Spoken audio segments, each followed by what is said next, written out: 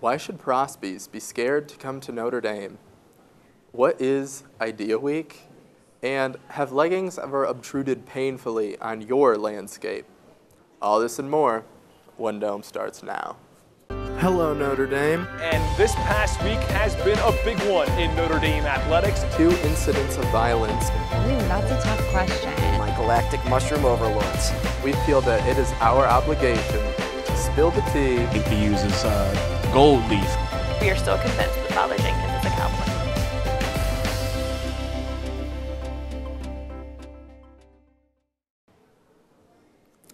To kick off the show, the newly renamed NDPD sent out two emails to the Notre Dame community recently. Reportedly, two incidents of violence occurred on Sunday, March 31st, both within two miles from campus. The first incident was an off campus shooting in the 100 block of Notre Dame Avenue, and the second was a violent robbery occurring two blocks south of the Notre Dame campus. Anyone with information on these incidents is asked to contact the South Bend Police Department, and members of the Notre Dame community are asked to stay safe when out and about and when hosting events for guests. Also in recent news, Notre Dame admitted 15.4% of over 22,000 applicants, extending offers for admission to 3,410 potential students. Over the past few weeks and in the weeks to come, Many of these students will live among us, trying to figure out if Notre Dame is really the school for them. So, here at One Dome, we feel that it is our obligation to spill the tea and let these Prospies know exactly what they're getting themselves into. With this being Prospie season here at the university, what should Prospies fear most about Notre Dame? Oh. Ooh, that's a tough question. Mm, what do they fear most? Probably parietals. They can get you. I remember um, like the first week not knowing where anything was, but a month into school, you'll find your way around and it'll feel like home. So. Uh, nothing. The university is a very welcoming place. Speaking from experience, I would say the architecture students.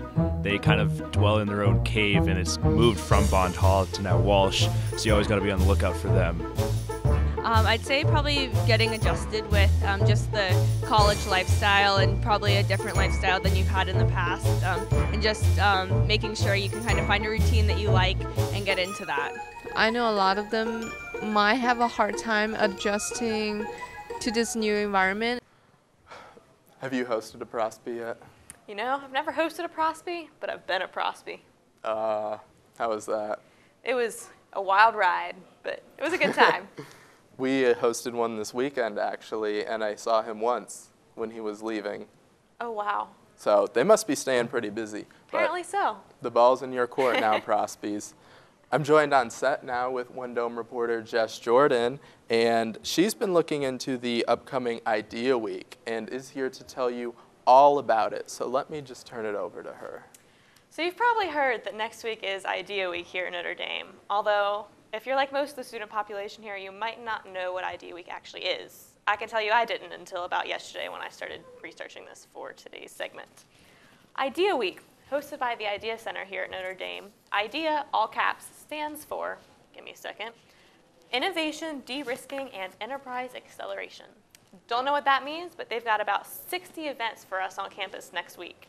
Last year was the first ever Idea Week, and they had over 18,000 people in attendance, so they're hoping this year, with more events and even more innovation, they can break that record. On Tuesday, more events over at the Century Center, but the discussion's moving away from blockchain and into innovation and entrepreneurship. We have a corporate innovation panel, crawl, walk, and run with your data, IoT, or the Internet of Things, and your enterprise, or the IoT in action, reinventing and retraining the manufacturing workforce, and the Industry 4.0 Expo. Not really sure where the 4.0 comes from, considering this is only our second Idea Week, but I guess we'll find out. I do know they'll have food trucks and robots. Sounds like a great time. The Digital Transformation Panel, the Innovation and Manufacturing Panel, Funding Innovations in Manufacturing, not sure how those two are different, what AI can do and what it can't do, and the spirituality of manufacturing in true Notre Dame fashion. On Wednesday, we take things from the Century Center over to the Northern Indiana Event Center as the conversation on innovation continues. We've got some startup pitch workshops, the pitch basics for entrepreneurs, Smart Mobility Expo. Not really sure what smart mobility is, but apparently there's a lot of hands-on interaction occurring.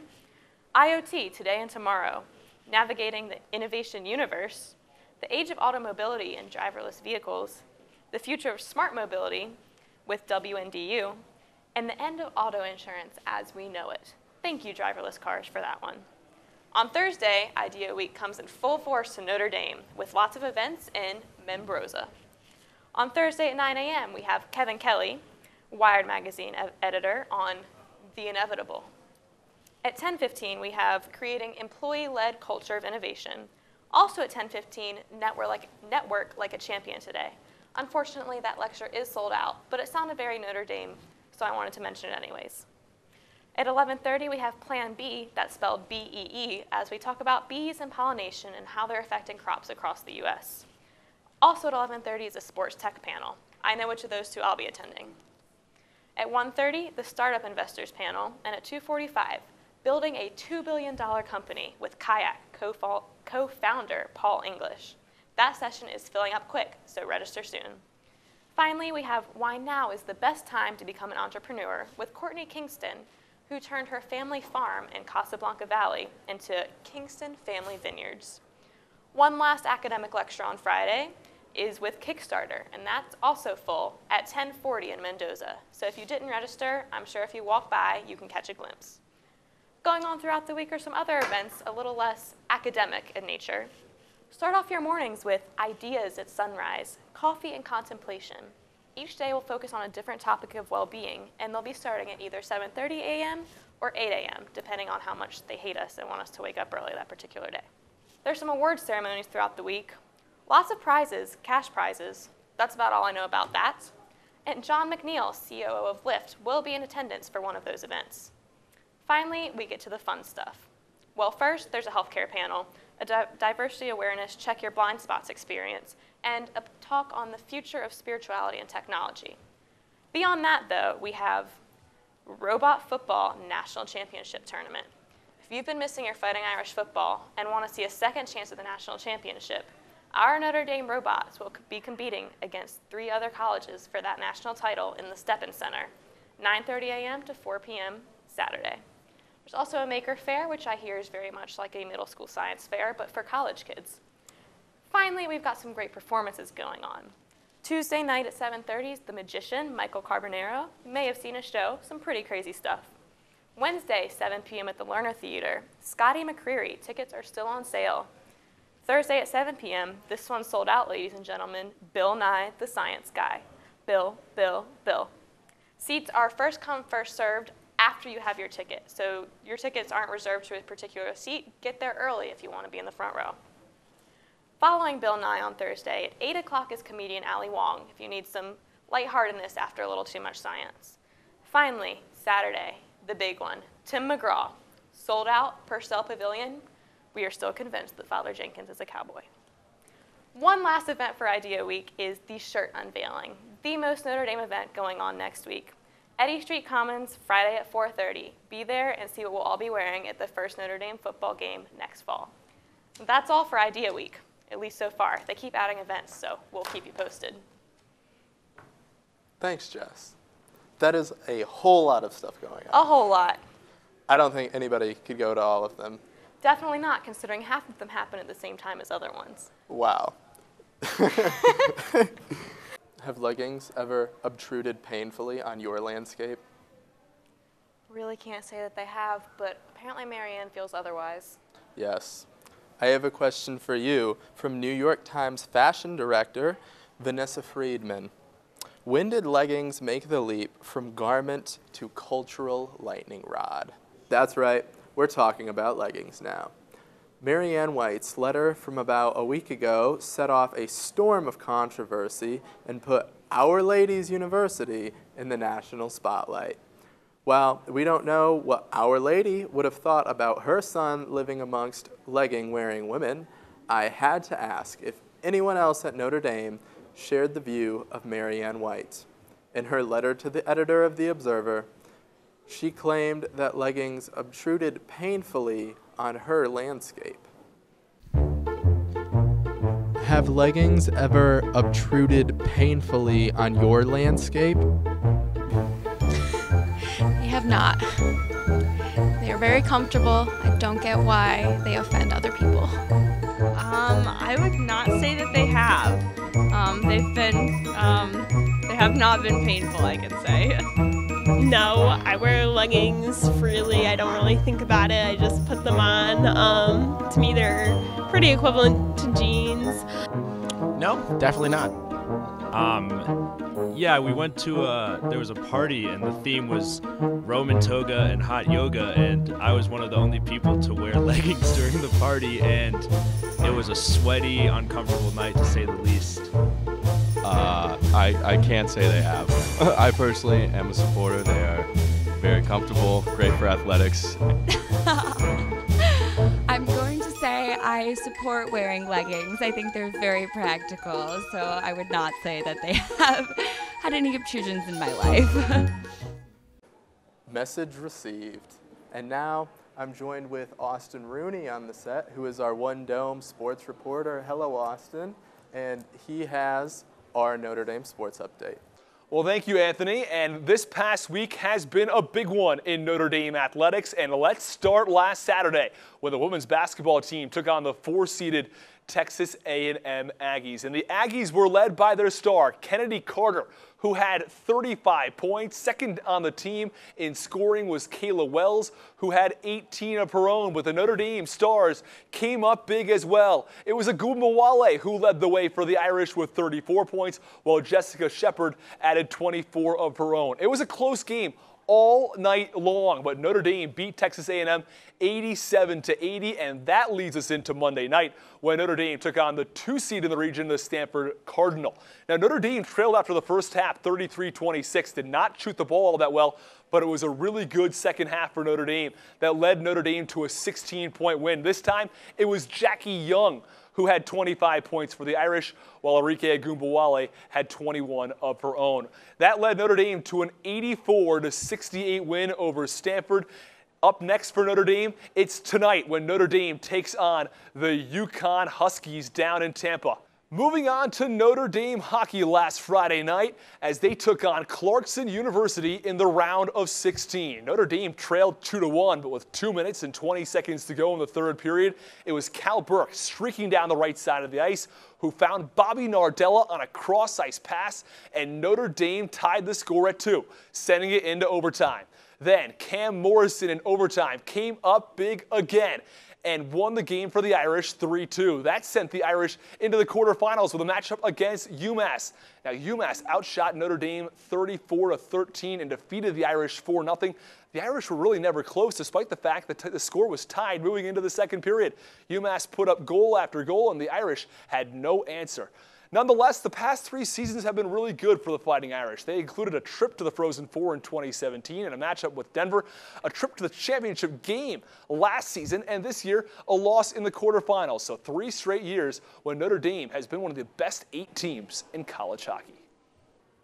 Finally, the Notre Dame women's lacrosse team had the biggest win of their season last weekend against the fourth ranked UNC Tar Heels. And it was goalie Samantha Giacolone who had an outstanding game and was named the National Player of the Week with a season high 14 saves and at one point made eight consecutive stops. Samantha Lynch also had a really big game for the Irish, scoring three goals, leading Notre Dame to a 9-7 win over the fourth-ranked Tar Heels. Now, on Wednesday, Notre Dame traveled to Boston College. Get this, they're ranked number one in the country, but Notre Dame fell behind 6-1 early. They battled back, and with 8.47 to go in the second half, the Eagles' lead was cut to 2, 11-9. But the Irish comeback was stopped there as BC took down Notre Dame 13-9. So a pair of top five matchups for Notre Dame. They split the series, one versus UNC, lost against Boston College. They've had a pretty darn good season this year. Thanks, Austin, for our Notre Dame sports update. And in the spirit of learning things that we should be learning in the classroom, we have a new segment here at One Dome called Pretty Neat. And for that, I turn it over to Joey O'Donnell. Welcome to Pretty Neat. I'm Joey O'Donnell, and this is a new segment where I talk about the funny, weird, and bizarre from the worlds of science and history. On today's adventure, we'll find Chinese relics, hominids, the end of the world, and a whole lot of drugs. This is the story of Terence Kemp McKenna. Terence was born in 1946 in a small town in western Colorado. By the age of 10, he was a precocious child, showing a voracious interest in psychology and philosophy. He was known to make up words in his own language and to tickle his family members without mercy. In his teens, McKenna first discovered what would become his obsession psychedelics. Around 19, he became especially fond of dimethyltryptamine, or DMT, and after his mother's passing, he and his brother Dennis traveled to the rainforests of southern Colombia to observe how indigenous cultures use the drug. However, his adventure quickly took on a new direction with his discovery of psilocybe cubensis, magic mushrooms.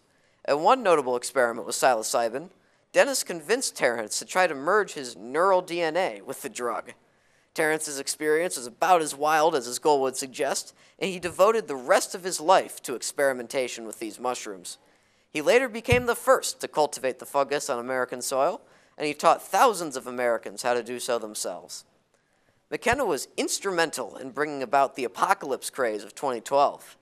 In the mid 1970s, when he was about 30 years old, McKenna discovered an old Chinese book of oracle reading and divination called the Book of Changes, and he began to develop a theory of time called novelty theory.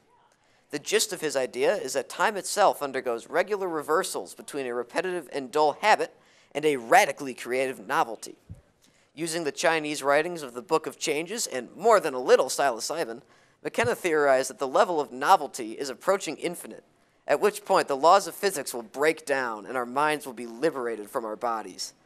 Using the release of the first atomic bomb on Hiroshima as a reference point, he calculated time wave zero, an incredible sounding function of novelty over time. The function predicted that novelty would become infinite in late 2012, when researchers discovered that Mayan calendars would end on December 21st of that year, McKenna and his followers became convinced of their theory. McKenna's contributions to human understanding didn't stop there. He also tackled the process of human evolution, arguing for what he called the stoned ape theory of human development. The growth of deserts in Africa, the theory goes, drove human populations away from tropical areas about 100,000 years ago. Forced into grasslands, our ancestors would come across wild cattle for the first time, whose droppings greatly facilitated psilocybe cubensis growth. There, hominids ingested the mushrooms for the first time, and psychedelic effects prompted the formation of powerful communities, abstract language, and religion.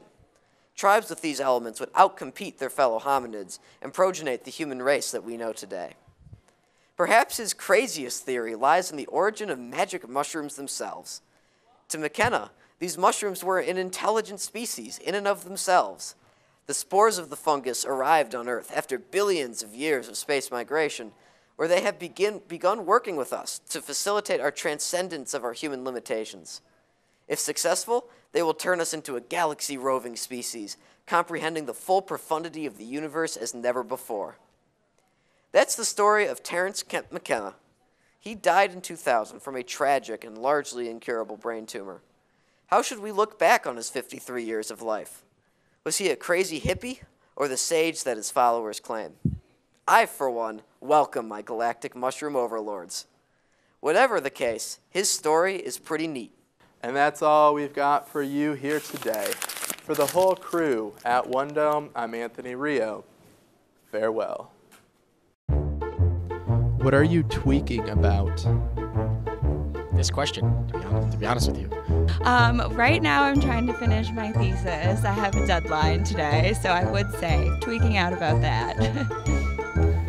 I mean, I guess I'm a grad student, so just always. Wow. Actually, it's not school related though. It's such a trivial. Like I'm just applying for uh, traveling, so I just need to prepare some documents. That's the only thing I feel like mm, a little bit tweaking. Um, probably the couple exams I have between now and Easter break, um, and then just looking into um, finals week, um, just all the exams I have ahead of me. Tweaking. I'm gonna say the warmer weather, the blue skies, and also woodworking lately. Been a lot of YouTube on woodworking. It's gotta, you know, it's gotta be my Spanish test on Monday and bookstore basketball league. But I'm not tweaking about that. The other teams are.